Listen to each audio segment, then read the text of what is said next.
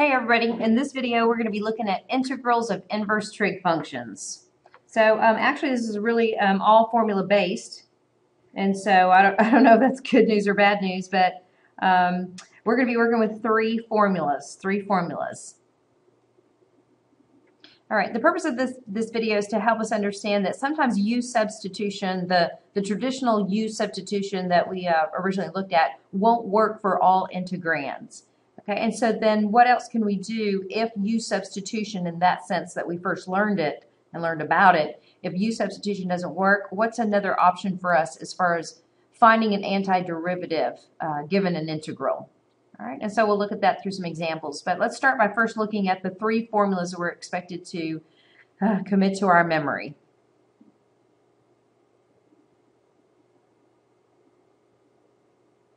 If we can identify an integral such that when we do a little bit of changes to the integral, um, we get something of this format, du over a squared minus u squared all under a radical.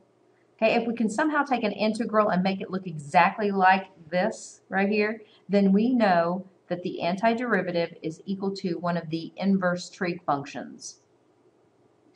And we did study several inverse trig functions, six, uh, and from your memory you might perhaps remember that um, if you have a square root in the denominator and it looks something like this, that the antiderivative would be the arc sine. We were working with arc sine. So arc sine's derivative is uh, very, very similar to this.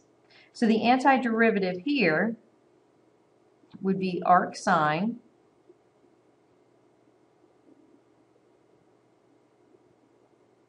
of u over a and then plus the constant of integration if you have an indefinite integral. Right, formula number two.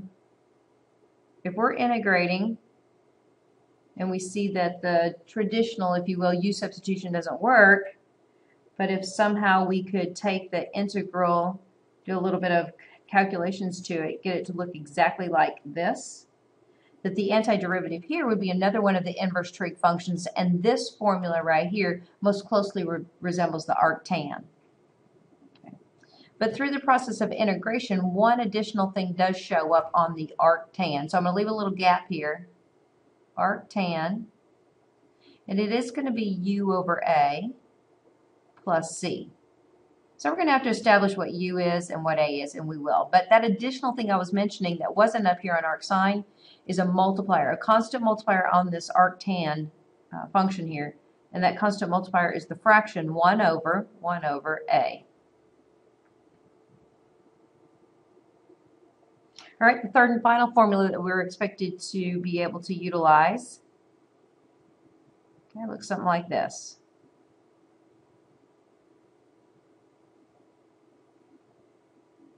Like the first example, you have another square root in the denominator, but you might want to notice the little change to the details here. Okay, this is the opposite of what I had under the radical here. This radicand is the opposite of this radicand. And additionally, you have a multiplier outside. So if you think about the inverse trig functions that we were working with, um, this most closely re resembles the arcsecant function. All right, and so here the antiderivative is going to be arcsecant. Notice I left a little gap here. Again, of u over a plus c. Two minor adjustments here in this antiderivative. One minor adjustment is this we need absolute value around the u. And then the second adjustment is it also has a constant multiplier in front of arcsecant, just like arctan. So the only one of the three that doesn't have that constant multiplier is arcsine right here. All right, so um, why only three? Because as you may well remember from the derivatives of the inverse trig functions, um, we can um, combine, I guess you could say, we could combine uh, and make pairs. For example, if uh, this integral right here had happened to have a negative as part of it, well, sure, this would go back to arc cosine. But for me personally, instead of working with the negative in the integral, I'm going to pull it out front and then integrate as if it wasn't there back to an arc sine, but my final answer would have to have the negative. So it sounds like arc cosine is equivalent to negative arc sine. Same thing here. If I had a negative inside the integral, I'm not going to work with arc cotangent. I'm just going to pull the negative out front, integrate to an arctan, and then bring in the negative. Likewise, arcsecant, if it had a negative, I'm not going back to arc cosecant. I'm going to pull the negative out front and have a negative arcsecant. So it makes it kind of a little bit easier for us, not as bad, you know, from 6 down to 3. All right, let's look at a few examples of using these formulas. In working with this integral, the first thing I'm always going to look to do is to use u substitution as we first learned it. Um, this is the traditional way. If I think about um, wanting to find an antiderivative for this integral, this derivative, okay, the first thing I'm going to think about is u substitution. Should Could u be 4 minus x squared? Well, the first thing I'd do is I'd be pulling up this square root as a negative 1 half power.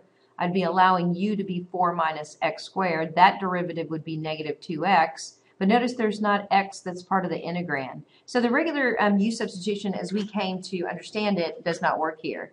So as an AB student, you know, what, what else do you do? If you're, if you're really needing to find this antiderivative and that u substitution doesn't work, then just try and dig deep in your memory and go, you know what, there was that inverse trig integral. Um, and um, can I work with that? And that's exactly what this is here. And all of these problems today, of course, we're going to be using the um, inverse trig formulas that we just were given.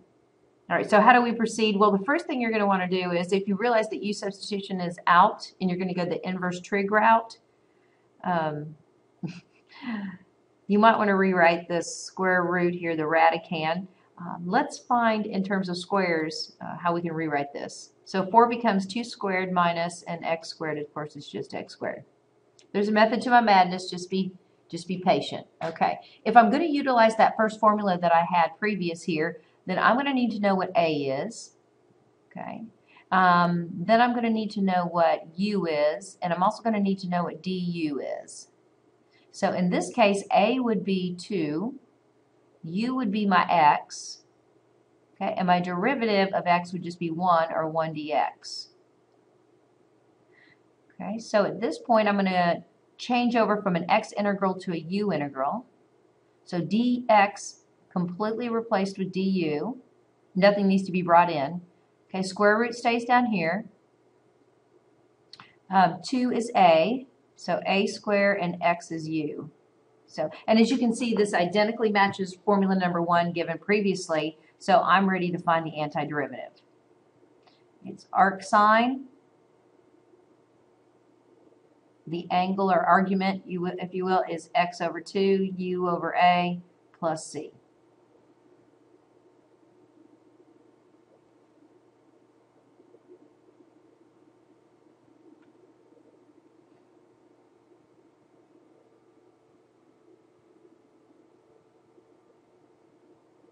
Okay, if I need to find an antiderivative for this integral, integrand, if I need to find an antiderivative, I first start my brain with u substitution. Um, if u is the denominator, the derivative would have an x, but I don't have an x as part of the integrand, so u substitution is out. We need to begin to think about the inverse trig integrals. This one most closely looks like the arctan because there's no square root down here. So let me progress to that step where I, I, get it to look identically to formula 2. So I need to rewrite 2 as a square. Square root of 2 squared plus 3x quantity squared would give the 9x squared. Okay, doing a little side work over here. I'm going to need to know what a is, which is the square root of 2 u would be 3x and du would be 3dx's. Okay, so I'm going to need to bring in a 3 so I can replace all of this with du, and then so I'm going to need a 1 third outside. Okay, so I've got a 1 third integral. Let's go all the way back to a u integral. 3dx gets replaced with du. Square root of 2 is a, a squared plus 3x is u, u squared. All right, so um, we can actually integrate because this looks identical to formula number two. Uh, we're just going to take our answer and multiply it by one third. All right, so the one-third comes along. All right, in the formula itself, it tells us that we end up multiplying arctan by 1 over a, so a is the square root of 2. And then we're going to have arctan of u over a, or 3x over square root of 2.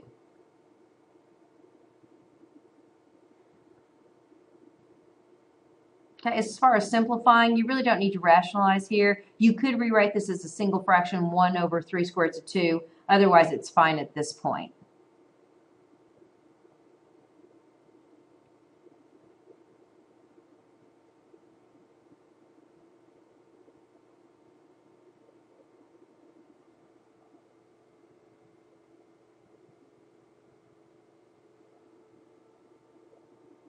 All right, attempting to use um, the traditional u substitution on this, um, it wouldn't work. Uh, if you allowed u to be the radicand, the derivative would be 8x, and x would have to be on top, and it's on in the denominator, so that's not going to work. Uh, you could try a few other things, but when when it's all said and done, this actually is going to go back to an arcsecant. That's the one of the three formulas that this most closely resembles. So now I know I have a plan. I'm going to try and take this back to arcsecant. I know that I need to kind of work with the denominator a little bit. Specifically, the radicand. I'm going to rewrite 4x squared.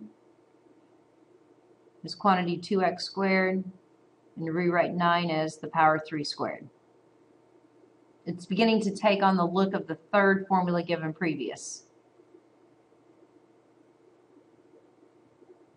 It appears that a is 3, u is 2x, and du is 2dx. Okay, so it looks like I'm going to have to bring in a 2 here, which means out comes a 1 half.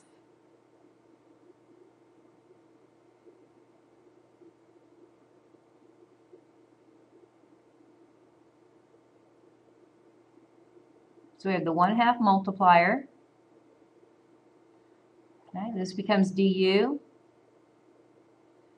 Okay, x. I'm trying to figure out what x exactly um, needs to be replaced with. Well, right now what we're going to have to do is we're going to have to use this expression right here. We're going to have to solve it for x. So divide both sides by 2, so u over 2 equals x. Okay, so I'm going to bring in a u over 2 here. And then the denominator 2x will be replaced with u. And then 3 will be replaced with a. Okay, we have a little cleanup to do right here. Okay, a little bit of cleanup right here. Uh, we want to get u by itself, and currently I'm dividing by um, dividing by 2. All right, so let's see if we can pull out this 1 half, if you will. So think of this as a 1 half. Okay, well, if I'm dividing by 1 half, that's the same thing as multiplying by 2. A little more work on this one to get this one uh, antiderivative. So I've got to pull out a 1 half. I'm dividing by 1 half. That's the same thing as multiplying by 2. So what happens is you end up with a 2 multiplier in front of the 1 half. Okay, and then it looks like we get the exact integral we need.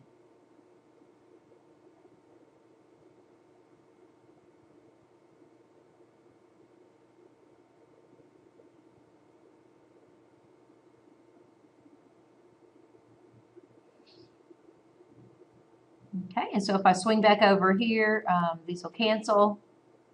I see that I I have exactly the formula I need, so this is going to go back to 1 over a, 1 third, arcsecant,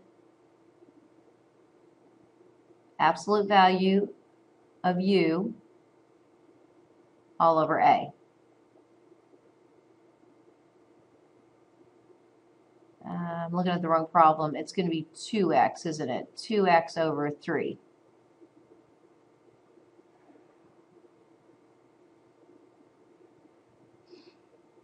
So integrating uh, with inverse trig functions. Three examples of um, how to go about, you know, setting things up so that it, it flows nicely and you can find the antiderivative uh, back to one of the inverse trig functions.